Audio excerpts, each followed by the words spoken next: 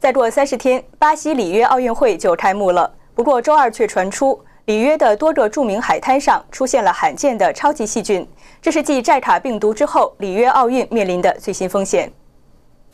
科学家们认为，这些超级细菌是经过医院的下水道进入里约的排水系统，最终流入海湾。研究人员历时一年的时间，针对里约五处知名海滩的海水进行检测。从事这一研究的首席研究员表示，在沿海水域找到各种浓度的细菌，与水污染有高度的相关性。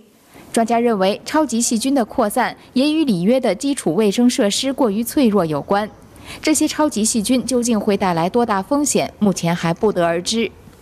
不过，里约市长周二表示，有。